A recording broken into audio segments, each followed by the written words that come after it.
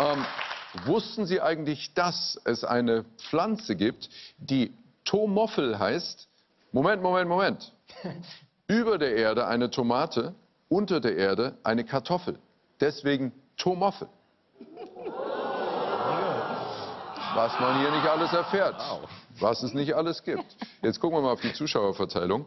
Hinter Bernhard und äh, sitzen 58 Zuschauer.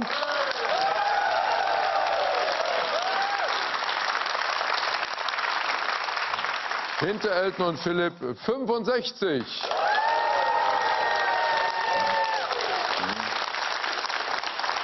So, damit haben wir das geklärt. Dann schauen wir jetzt auf die heutigen zwölf Kategorien. Hier ist die Wand. Zwölf Kategorien heute sind im Garten, damals, Essen und Trinken, Gesundheit, im Freibad, Zahlen bitte, das Wetter, total genial, Neuheit, tierisch, tierisch, das Fragezeichen, andere Länder, andere Sitten.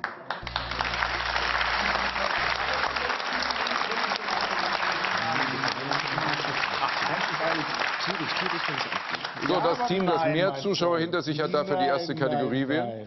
Jede richtige Antwort 500 Euro. Da kommst du nicht weg. Wir nehmen natürlich Gesundheit, wenn wir hier schon einen Arzt haben. Oh Gott, ich glaube, ich, ich kann mich bei keiner Kategorie mehr blamieren als bei Gesundheit, weil ich theoretisch wissen müsste. Na gut. Wir kommen zur ersten Frage. Laut Bundesinstitut für Risikobewertung sollte Kinderzahnpasta kein Zink enthalten, da es a. zu Appetitlosigkeit führt, b. Flecken auf den Milchzähnen hinterlässt oder c. in hoher Konzentration das Immunsystem schwächen kann. Gut. Also, ich würde als erstes mal vermuten, Ja. dass es C nicht stimmt. Das ist so mein, mein, mein Bauch sagt, dass ähm, Zink sehr gesund ist und das Immunsystem eher stärkt. Weil wenn man krank ist, soll man doch, oder? Ja, davon habe ich auch gehört. Frage ist natürlich nur, gilt das auch für Kinder? Mhm, genau. So, okay. B würde ich erstmal ausschließen, weil es kann vielleicht Flecken hinterlassen, aber warum sollte das ein Risiko sein? Ich meine, das sieht vielleicht nicht schön aus, aber Bundesinstitut für Risikobewertung ist eher wirklich was für Gesundheit und ob eine Milchzähne nur Flecken haben, das interessiert die, glaube ich, nicht wirklich. Also B würde ich erstmal ausschließen. Dann bleibt dann nur noch A übrig. Ja. Bei mir wäre es vielleicht gut, früher gut gewesen, wenn ich zu viel Zink. Ach was, ich finde, du bist wunderbar, genau wie du bist. Ah. Ähm, Und es steht ja auch definitiv kein Zink, nicht wenig Zink. Ja. Und deswegen. Ich meine, ich, mein, ich habe noch nie von dem Zusammenhang gehört. Äh, sagen wir mal, mal, jemand möchte eine Diät machen und soll dann mal ein paar Zinktabletten nehmen. Habe ich noch nie gehört. Ach so. Weißt du, was ich meine? Ja.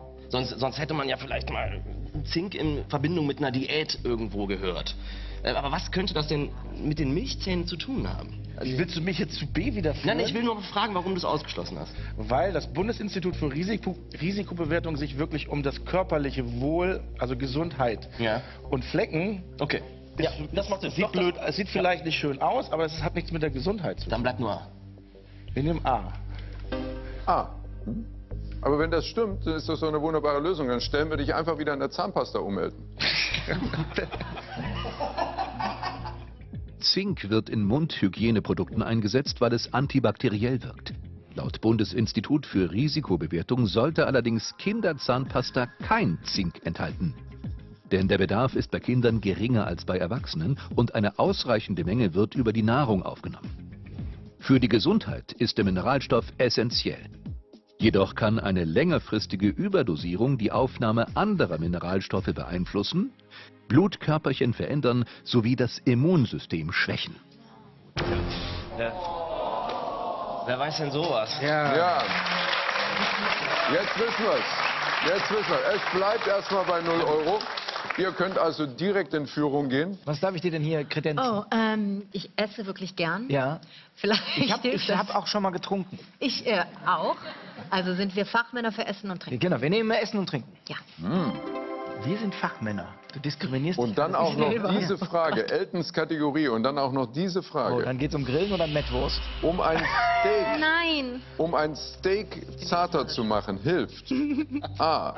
Eine Handvoll grob gemörsete Traubenkerne. B. Eine pürierte Ananas oder C. Die Schale einer Banane. Ähm, ich esse seit 20 Jahren kein Fleisch, Okay. aber ähm, Um dir die Frage ein bisschen näher zu bringen, um veganen Steakersatz zarter zu machen, hilft. genau, danke. Jetzt weiß ich. Ähm, du isst ja vielleicht manchmal ein Steak. Ja, aber Und? ich habe noch nie eine pürierte Ban Ananas drum gemacht, dann eine Sch- Bananenschale draus. Also wenn ich eine Bananenschale öffne, ist eine Banane drin. Da war noch nie ein Steak drin. Warte mal. Und eine Handvoll grob gemörserter Traubenkerne, das würde ich nur so wegen der Handvoll. Das ist so, jetzt habe ich aber so ein, so ein Riesensteak und dann ist es, also ich, ganz ehrlich, ich habe überhaupt gar keine Ahnung. Ich würde das sofort ans Publikum geben. Ah, das haben wir ja auch noch. Richtig? Was Ja. heißt noch? Noch sind die alle da. Wenn die jetzt schon weg wären, bevor wir die erste Frage kriegen, dann ist das Vertrauen nicht sehr groß. Und wenn du keine Ahnung hast, ich habe überhaupt gar keine Ahnung. Null. Null Ahnung. Toll. Ah, guck So. mal. Tag. An- So. Oh ja. So wichtig, ne?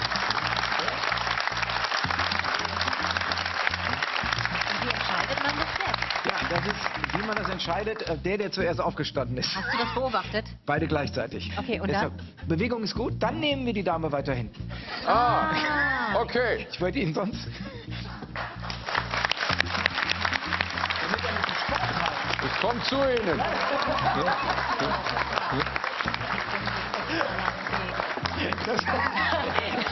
Ein Marathon geworden.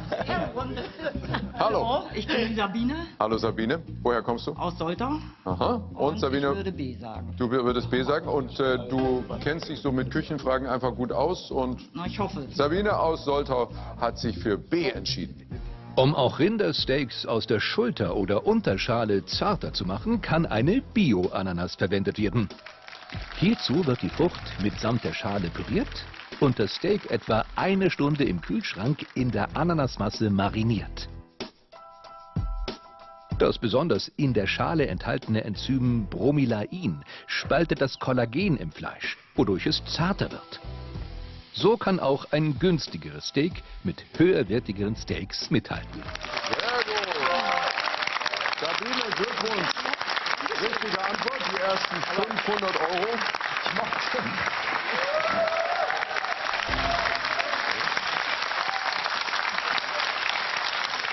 Aber ich mach's ärgerlich. Also ich wäre, da ich ja jetzt äh, in meiner Arztrolle schon gescheitert bin, ähm, für tierisch tierisch, da ich ja noch den Ranger drehe, der übrigens am 3. Januar ausgestrahlt Ah. wird in der ARD, Aha. äh, würde ich äh, tierisch tierisch wählen. Sehr gut. Ähm, denn der kennt sich gut mit Tieren aus. Mal gucken. Da bin ich gespannt. Wie finden sich europäische Temnothorax albipennis? Kurzes E. Nein. Zwei N. Ja, ja. Ameisen in einem weit verzweigten fremden Bau zurecht. A. Sie biegen an Weggabelungen in der Regel links ab. B. Sie folgen den Duftspuren der anderen Art, die dort lebt. Oder C. Jeder europäische Ameisenbau hat denselben Grundriss. Temnothorax albipennis. Ameisen. Ja, das ist ja voll einfach. Nicht. Jeder europäische Ameisenbau hat denselben Grundriss. Ich, ich finde A total abwegig. Genau so hat das eben auch angefangen. Ich sage, Ja, ich finde ja, C ja. total abwegig und das war's dann. Ähm, aber wieso sollten die immer, also gut, in der Regel links ab, Aber wenn die immer links abbiegen, dann gehen die doch immer im Kreis. wenn sie immer im Kreis laufen. Die folgen den Duftspuren der anderen Art, die dort lebt. Ja. Okay. Kann natürlich sein. Dann müssen die aber sämtliche Duftspuren aller fremden Ameisen kennen. Mhm. Aber jeder europäische Ameisenbau hat denselben Grundriss. Das finde ich auch komisch. Ich finde alles komisch. Aber weißt du, ich meine, diese Ameisenbauart, ähm, sind die nicht im Endeffekt ähnlich aufgebaut? Weißt du, dass man sagen könnte, ähm, das ist halt irgendwie, die Natur hat das vorgegeben, wie die diesen Ameisenbau machen und diese äh, äh, Tunnel verlaufen immer in ähnlichen Bahnen und deswegen finden die sich tatsächlich sowohl in ihrem Bau als auch in dem anderen Bau ganz gut zurecht. Kommt mir so auf den, auf den ersten Moment eigentlich schlüssig vor, weil die Duftspuren, sagen wir mal, es ist ein Ameisenbau. Äh, die Duftspur müsste doch in jedem Gang sein von dem Ameisenbau. Weißt du, was ich meine? Die geben doch nicht eine Duftspur nur da, wo der Weg richtig ist, sondern die laufen doch in jede Ecke ihres Baus, die andere Art. Oder? Ich, ich bin, weiß es nicht, ich bin keine Ameise. ich habe keine Ahnung. Ich finde C am sinnvollsten. Jede europäische, A- jede hat denselben Grundriss. Das heißt, also egal ob Waldameise, die einen Ameisenhaufen haben, oder die, die unter der Terrasse sich buddeln, da ist immer rechts unten die Küche, oder was? Links oben Wohnzimmer, also es ist immer, immer gleich. Sag mal, aber in der Regel links ab, die würden doch immer im Kreis laufen, oder nicht? Die würden immer im Kreis laufen. Und dann wären sie wieder irgendwo da und dann. Wenn du jetzt in ein Labyrinth gehst, da findest du dich doch nicht zurecht, wenn du immer links abbiegst. Nee. Oder doch?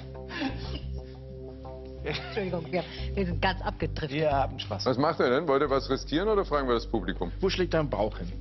Dann wäre ich doch bei B. Bei B. Dass die, die Duftspuren anderer Arten. Gut, dann nehmen wir B. Alles klar. Haben wir eingeloggt. Äh, immer spannende Fragen aus dem Tierreich. Britische Wissenschaftler haben 2014 bei einer Ameisenart, die zur Unterfamilie der in Mitteleuropa vorkommenden Knotenameise gehört, das Verhalten beim Erkunden von fremden Nestern beobachtet. Die Tiere halten sich nah an der Wand und biegen, bei Möglichkeit, meist links ab. Die Forscher sehen darin zwei Vorteile. Die Chance, wieder zum Eingang zu gelangen und auf Artgenossen zu treffen, ist höher. Außerdem vermuten die Forscher, dass die höhere Anzahl Facettenaugen auf der rechten Seite eine Rolle spielt. Die Tiere haben ihre Umgebung durch den Linksdrall besser im Blick. Aber ich glaube, da hätte das Publikum auch nicht helfen können. Oder? Da hätte keiner helfen können. Es, wir haben noch eine Menge Fragen zu spielen. Es bleibt erstmal bei 0 Euro. Also Hier können die nächsten 500 dazukommen. Ja, lass mal. Nimm mal. Lass mal, ich meine, es ist Nee, nicht nimm, die Saison, aber es ist gut. Nimm mal, ne? ja, nimm mal. Auch wenn es außerhalb der Weihnachtssaison ist, würden wir gerne im Freibad Ja, machen. da ist jetzt nicht viel los, da können wir uns umschauen. Da können wir uns richtig umschauen. Warum bekommen blonde Haare nach einem Besuch im Freibad häufig einen Grünstich? A. Das Chlor im Wasser reagiert mit Zinkoxid in Sonnencreme. Sonnencreme? B. Algenvernichtungsmittel im Wasser enthalten Kupfer. Oder C. Blonde Haare sind Anziehungspunkte für Wasserbakterien. Ach du Scheiße. Warte mal kurz. Okay. Wir Also, haben beide sofort, sofort Chlor sofort gesagt. Chlor gesagt, ne? Was mich jetzt nur wundert, ist die Sonnencreme, was die damit zu tun hat. Die landet ja auch. Landet die im Haar? Naja, sie landet im Wasser.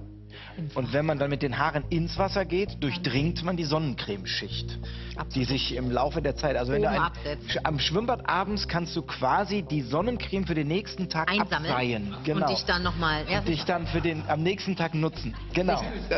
das ist so, das waren ganz viele. Tennisbällen geht, das habe ich in mal irgendeiner Sendung mal. Ach, Tennis, genau. Ich weiß, wie man die grünen Haare wieder normal kriegt. Mit Ketchup. Das weiß ich. Ist das so?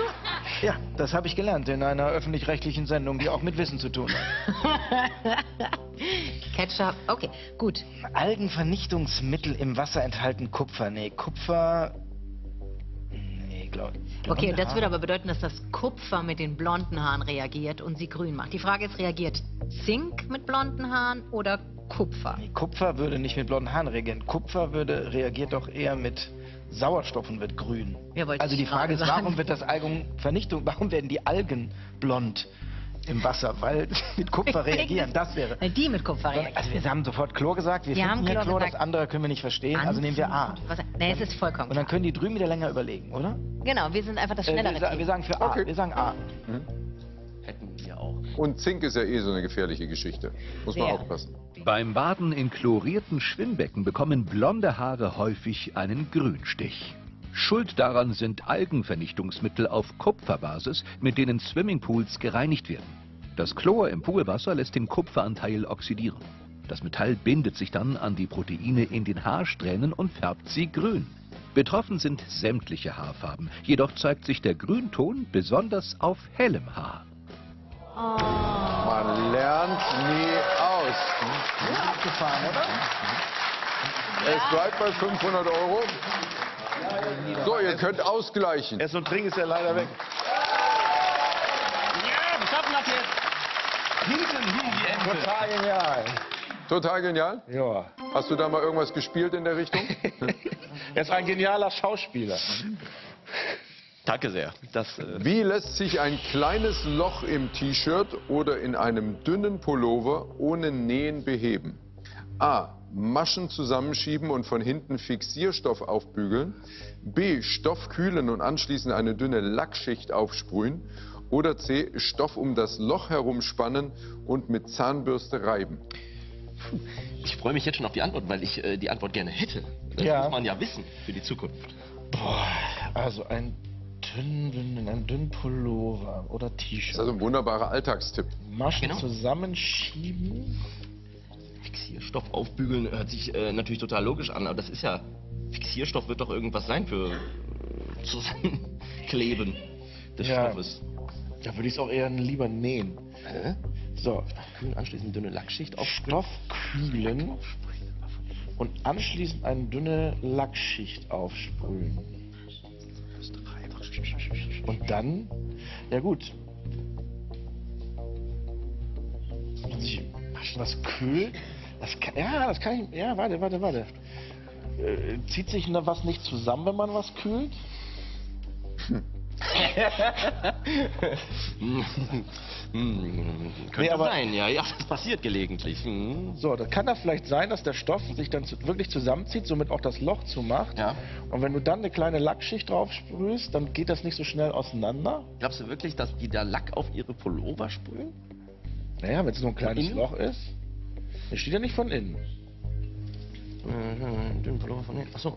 So, was mal C. Stoff um das Loch herum spannen und mit Zahnbürste reiben. Machst du das nicht noch mehr kaputt? Theoretisch ja. Aber sag mal, dieser Fixierstoff, den, den machst du einfach weg, weil das hört sich doch. Also, wenn es sowas gibt, einen Fixierstoff, ist das doch eigentlich das Logische. Das hört sich doch an wie ein Flicken, den man aufbügelt. Ja. Ne? So wie, weiß ich nicht, so ein, so ein Patch, den man sich aufbügelt oder so. Und wenn ich das jetzt von innen mache, ist doch klar, dass das Loch dann irgendwie weg ist. Wenn ich so die Maschen so zusammenschiebe, so, und dann jetzt von innen Kleber drauf mache, dann ist das doch wieder zusammen.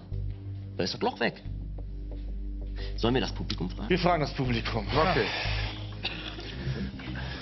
So, wir, sind, wir schwanken zwischen A und B. Kann natürlich auch C sein, dann würde ich, aber So, jetzt aber, kommt Freunde, die ersten ganz- 500 Euro.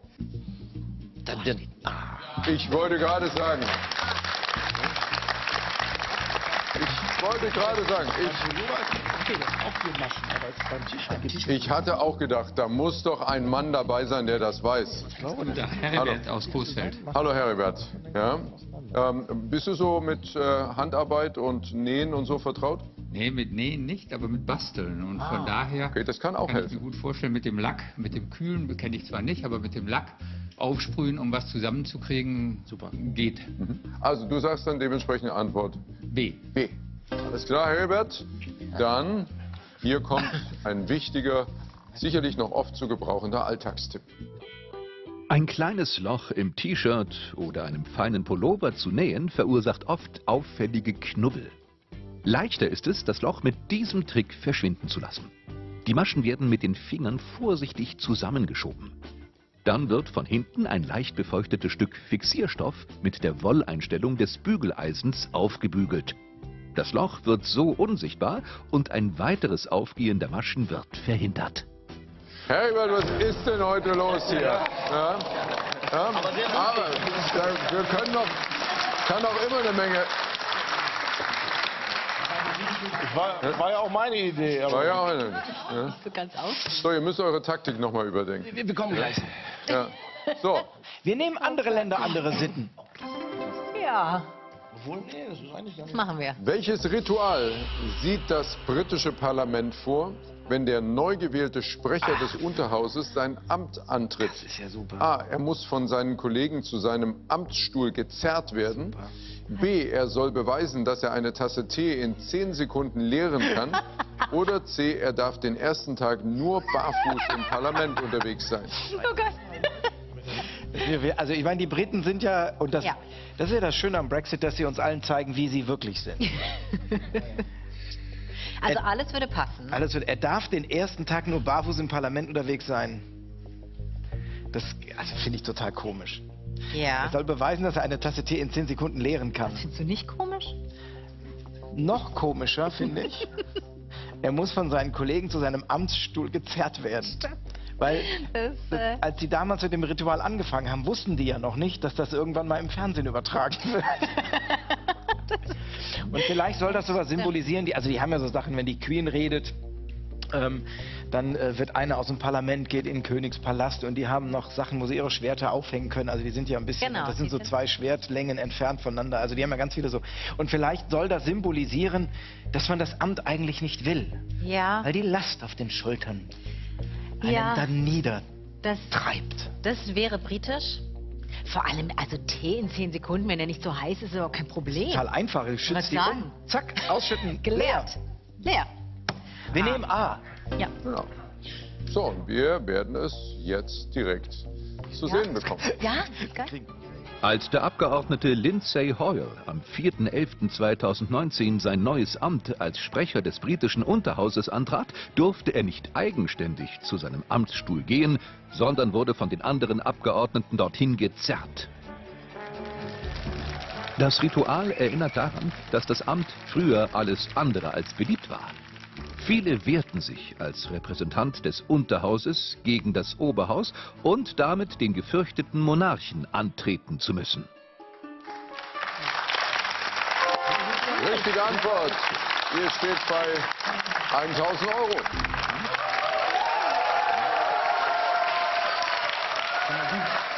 Jetzt aber.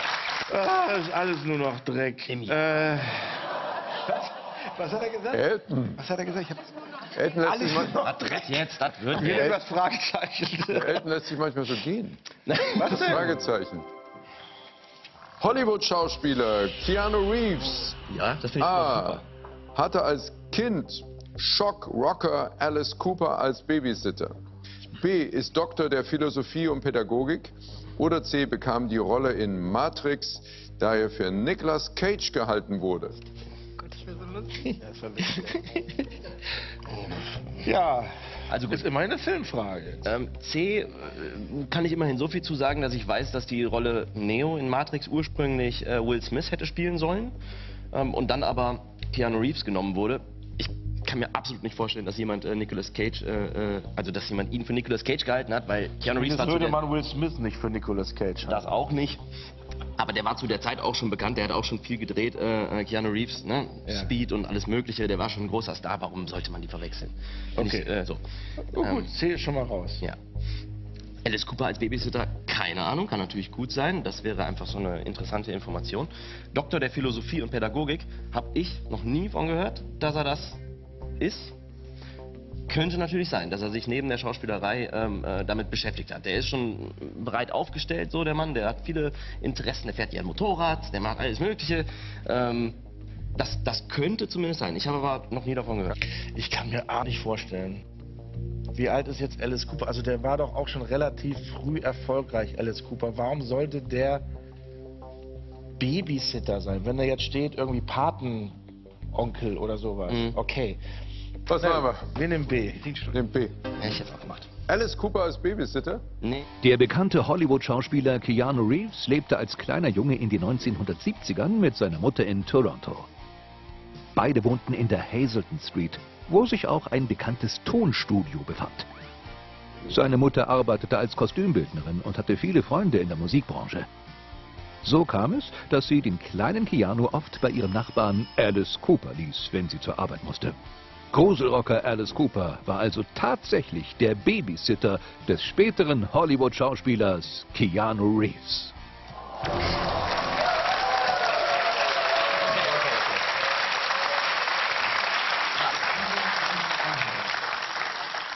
Wir machen Zahlen oder Wetter? Wetter. Gut. Das Wetter. Warum verwirrte eine riesige Wolkenfront auf dem Niederschlagsradar Meteorologen in San Diego im Juni 2019? Bestimmt schon irgendwo gelesen. A. Sie verschwand immer wieder vom Radar. B. Es handelte sich um einen Schwarm aus Marienkäfern. Oder C. Die Wolkenfront bewegte sich geradlinig vor und zurück. Ein UFO. Riesige Wolkenfront auf dem Meer. Eine Wolkenfront auf dem. Also, sie verschwand immer wieder vom Radar. Finde ich für eine Wolkenfront. Also, finde ich komisch. Und das verwirrte. Ich war sofort bei. Ich hatte sofort Tiere im Kopf. Die Wolkenfront bewegte sich geradlinig vor und zurück. Das heißt, sie geht hin und her. Ich meine, verwirrend ist das natürlich. Also wenn So, es. Marienkäfer waren, dann ist es natürlich logisch. Aber warte mal kurz. Ja, ah, hier, San Diego, Juni, Sommer, Sommer. wolkenfreier Himmel. Plötzlich taucht eine Wolkenfront Genau. drauf. Keiner weiß, wo der herkommt. Es gibt keine natürliche Erklärung Aha. dafür. Es müssen, es Die müssen sind noch da. Sag sein. ich. Gucke, ob jemand nickt, weißt du? Ja, ja, ja, genau. das Und, und, und genau, und Und in genau dem das Moment ist es darfst du nicht. verboten. Das ist das Problem. Deswegen dürfen wir uns nicht Ach, umdrehen. ich darf mich gar nicht umdrehen. Das wurde mir gar nicht gesagt. Aber du darfst Nein. mich anschauen. Du darfst mich anschauen.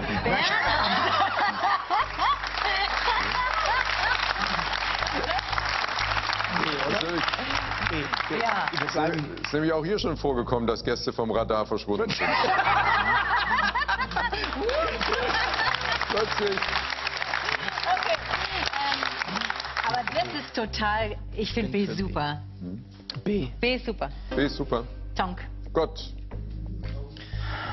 Am 4. Juni 2019 entdeckten Meteorologen in San Diego eine große Wolkenfront auf ihrem Radar. Jedoch konnte kein Niederschlag verzeichnet werden. Ein ehrenamtlicher Mitarbeiter beobachtete das Geschehen vor Ort und stellte fest, dass es sich um einen gigantischen Schwarm aus Marienkäfern handelte. Schwärme dieser Größe sind zwar bekannt, dass sich jedoch Millionen von Käfern auf dem Radar über eine Größe von ca. 130 mal 130 Kilometern erstrecken, ist äußerst ungewöhnlich. Wahnsinn, richtige Antwort. So, 1500 Euro sind für euch. Aber jetzt, jetzt. Also, Respekt Wir haben noch im Garten damals Zahlen bitte und Neuheit. im Garten. Welche Faustregel zeigt, dass es Zeit ist, mit dem Rosenschnitt zu beginnen? A. Wenn der letzte Spargel gestochen wird. B. Wenn die Forsythien anfangen zu blühen. Oder C. Wenn der Osterhase die Eier bringt. Ich finde, das hat, das hat ja alles was mit Frühlingsanfang zu tun. Äh, Mehr oder weniger. Der letzte Spargel wird halt, das ist halt, was ist das so, auch Mai, Juni? Also Spargel fängt ja früh an mit die Spargelzeit. So, Osterhase ist meist Ostern, das ist so März, April. So, und wann, wann Forsythien blühen das, blühen, das weiß ich nun leider überhaupt gar nicht. So, wir wissen wieder mal nichts. Das läuft heute. Wir haben Wobei, wobei vorhin, sagen wir mal so, bei den anderen Antworten glaub, glaubten wir etwas zu wissen. ja, ja, ja, ja, ja. Vielleicht haben wir jetzt mal recht und wissen es aber gar nicht. Was machen wir denn? Komm, du haust einen raus jetzt. Du machst das jetzt. Ich muss heute pünktlich zu Hause sein. Ich muss noch die jungen Ärzte der Weihnachtsfilm gucken. So heute es, ja. Abend Viertel nach acht. Und vorher die Tagesschau. Was macht ihr denn? Eine OP in Intensiv? Ich weiß es doch nicht. Es ist. Ich wünschte, ich könnte dir helfen. Ich weiß es nicht, ich trau mich nicht, ich trau mich nicht zu sagen. Phil- Dann lass dir von Philipp doch sagen, was Ja, du was sagen will, komm. sollst. Ja, komm, wir nehmen jetzt B. Wir nehmen B. Oh.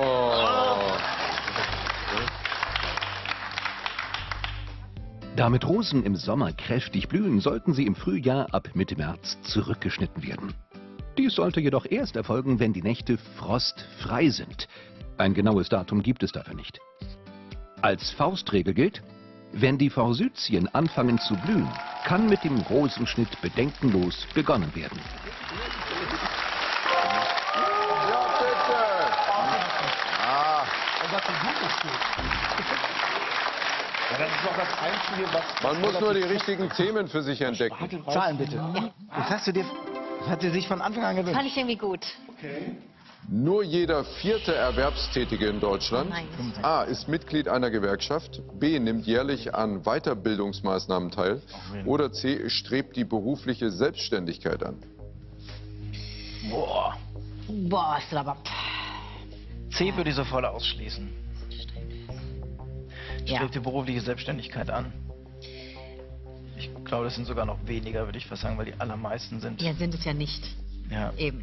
Ja. Ist Mitglied einer Gewerkschaft. Also die Gewerkschaften haben das Problem, dass die dass immer weniger Mitglieder sind und auch auf der Arbeitgeberseite gibt, gibt es immer weniger Betriebe, die in den Ge ähm, Arbeitgeberverbänden sind. Das ist zumindest ein Thema. Allerdings nimmt Die Weiterbildungsmaßnahmen, die wir Aussagen machen, wahnsinnig wenige, oder? Ja, Warte, die machen, die Frage ist, wie viel? Jeder vierte. Ah, Jeder vierte.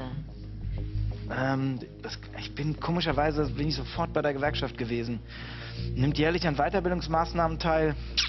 Wäre 25% viel oder wenig, um an Weiterbildungsmaßnahmen teilzunehmen? Ich finde 25 sogar recht viel. Eben, ich finde es nämlich zu viel für Weiterbildungsmaßnahmen. Ja, Ich, ich glaube, dass gar es noch weniger ist. Ja, genau.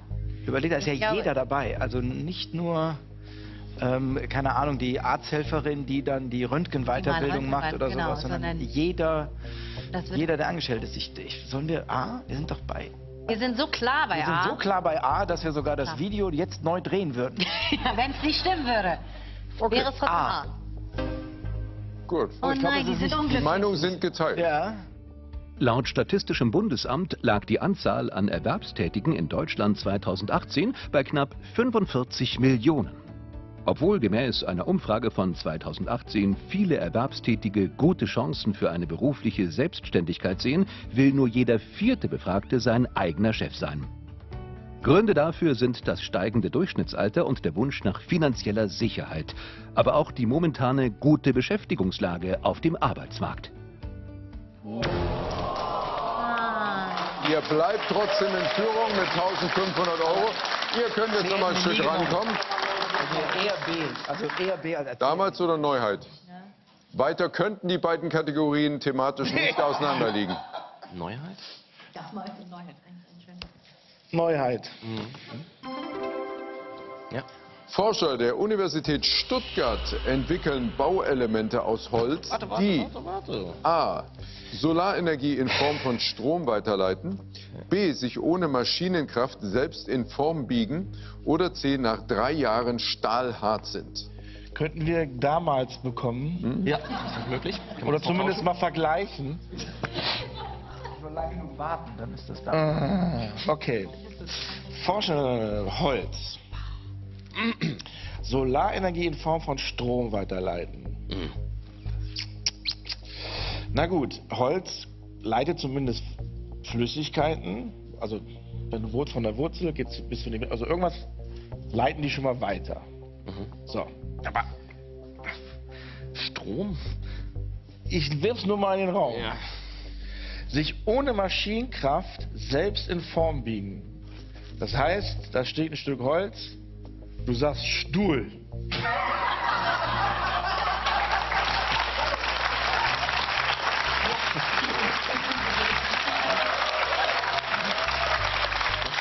Das macht gerade Sinn. Irgendwie. Und der biegt sich dann zum Stuhl.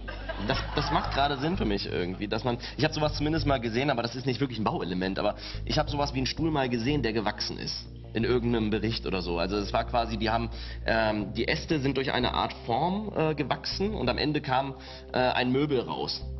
Äh, weißt du, was ich meine? Haben Stühle Ah. gezüchtet. Ne? Ja, quasi. Es war tatsächlich ungefähr sowas. Ähm, Ja, okay. aber ist das äh, passt das zu der Frage? Ist die Frage. ja. Bauelemente aus Holz? Nach drei Jahren stahlhart sind. Also normalerweise ist ja Holz, was trocknet, nicht wirklich hart. Warum sollte das stahlhart werden, Holz? Weil die Forscher das herausgefunden haben. Wie? Beziehungsweise entwickeln. Vielleicht haben die da noch irgendwas. Oh Mann, ey, das ist schon wieder eine Frage. Okay. Was wäre das Unwahrscheinlichste? äh, Nach Achso, wir haben ja gesagt, wir wollen das. Das? Unwahrscheinlichste ist A. Ja, finde ich auch. Finde ich auch. So, weil wir haben ja, wir haben ja gesagt, wir haben immer das ähm, genommen, was von uns her logisch ist, aber Ja. es war immer das Unlogischste von allen. Ja, ja, ich habe es verfolgt. Wollen wir also das Blödeste nehmen, was wir gesagt haben? Ehrlich? Ja. Die alte Strategie einfach. Äh, Ja. okay, ja, Solarenergie. Wir nehmen A.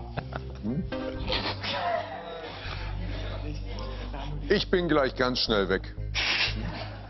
Forscher der Universität Stuttgart entwickeln neuartige Bauelemente aus Fichtenholz, indem sie zwei Holzschichten so zusammenkleben, dass ihre Faserungen unterschiedlich orientiert sind. Weil sich Holz beim Trocknen senkrecht zur Faserrichtung stärker zusammenzieht als längs, schrumpft eine Schicht der sogenannten B-Layer-Holzplatte stärker als die andere. Je nach Dicke der Schichten, Orientierung der Fasern und Feuchtegehalt biegt sich so das Holz während des Trocknens in eine zuvor berechnete Form.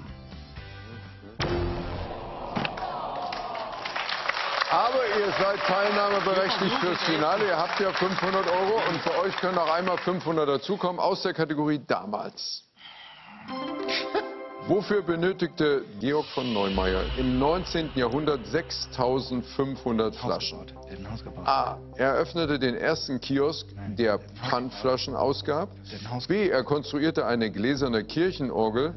Oder C. Er wollte Meeresströme mit Hilfe von Flaschenpost erforschen. Warte mal kurz. Hast du schon mal von der Neumeier-Orgel gehört? Ich? Ja. Nein. A schließe ich aus. Ja, der Pfla vor allem erst 600 Flaschen, dann sagt er, ich verkaufe die euch und ihr bringt mir die alle zurück. Das ist das erste Pfandflaschensystem, das macht keinen Sinn. Gibt es nicht so eine von Neumeier Forschungsstation irgendwie in der Antarktis? Sowas in der Art, das klingelt bei mir. Deshalb wäre ich bei den Meeresströmen. Dass das ein Geologe war. Ist ja unsere letzte Frage. Ja, ich, das ist, also B würde ich. Wäre natürlich super, die von Neumeier Orgel. Das wäre echt Besonderes. Eine gläserne Kirchenorgel. Aber, das die, Aber würde man die mit Nee, das wären- 6500 Flaschen konstruieren? naja, wenn sie gläsern ist, wäre das das, wäre das naheliegend. Bist du eher bei B oder eher bei C?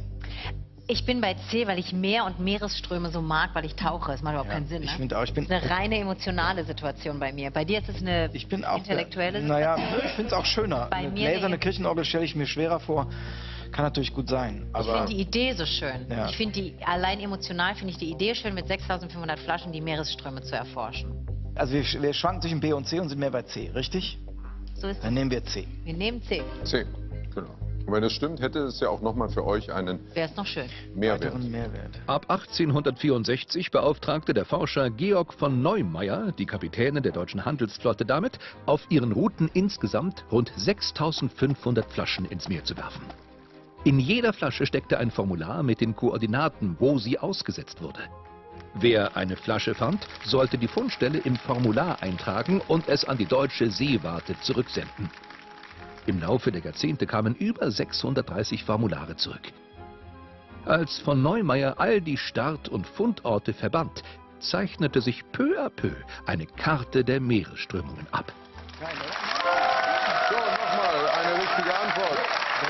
Und damit haben wir folgenden Zwischenstand vor dem Finale. Philipp Danner und Elton haben 500 Euro auf dem Konto. Sanam Abraste und Bernhard Hoek haben 2000 Euro auf dem Konto. Und damit sind wir bereit fürs Finale.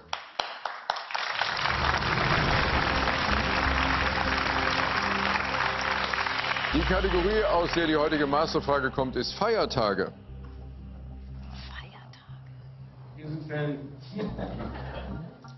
Ihr habt schon gesetzt? So, beide Teams haben gesetzt. Hier ist die heutige Masterfrage. In welchem dieser Bundesländer ist Allerheiligen ein gesetzlicher Feiertag? A. Niedersachsen, B. Saarland oder C. Sachsen-Anhalt. Ihr habt 20 Sekunden. Ab jetzt.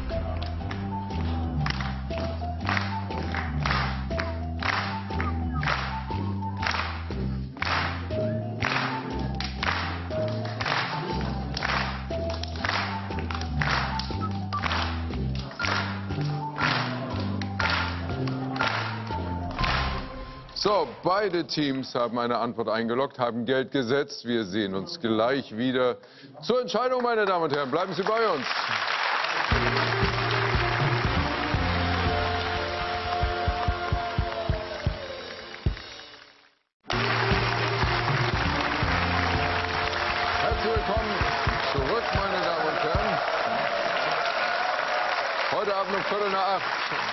In aller Freundschaft die jungen Ärzte der Weihnachtsfilm und natürlich auch mit dabei Sanam Afrashteh und Philipp Danne, unsere heutigen Gäste. Und wenn Sie, wenn Sie noch auf der Suche nach einem Weihnachtsgeschenk für Ihre wissbegierigen Kinder sind, sind Sie mit Wer weiß denn sowas das zweite Spiel bestimmt nicht verkehrt. Also, Wir schauen auf die heutige Masterfrage. In welchem dieser Bundesländer ist Allerheiligen ein gesetzlicher Feiertag? Aber ist ja eh egal. So, Bernhard und Sanam haben 2000 Euro auf dem Konto. Wie viel habt ihr gesetzt? Nee, wir müssen leider bei uns anfangen. Ach so, stimmt. war- Wir fangen ja auf der Seite an. Nicht? Stimmt, stimmt. ist so ungewohnt. Ja. Ja. Wir sind nicht, wir spielen nicht. Elton und Philipp haben 500 Euro auf dem Konto und haben gesetzt. 500. Ja. Sanam und Bernhard haben 2000 Euro auf dem Konto und gesetzt. 999. Auf welche Antwort habt ihr getippt? Elton und Philipp haben getippt auf Antwort C. Oh. Bernhard und Sanam haben getippt auf Antwort B. Jetzt bin ich ja mal gespannt. Ich bin geschockt. In Deutschland ist der 1. November, Allerheiligen, in fünf Bundesländern ein gesetzlicher Feiertag. Und dazu gehören Baden-Württemberg, Ah, Bayern, Nordrhein-Westfalen, Rheinland-Pfalz, wir- und komm schon. Sag. Hm? Sag Saarland. Saarland fehlt noch. Doch Saarland. Saarland, ja. Saarland fehlt. Und? Okay. Fängt mit S an. und das Saarland.